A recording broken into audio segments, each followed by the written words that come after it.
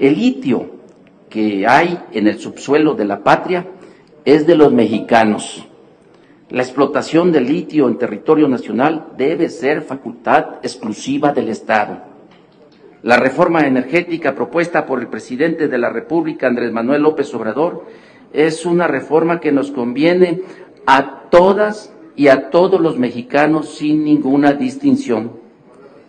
Con la aprobación de la reforma constitucional, se blindará a la Comisión Federal de Electricidad con un marco jurídico que le permita ser un organismo autónomo, con la capacidad de generar, conducir, transformar, distribuir y abastecer la electricidad en México. Morena, la esperanza de México.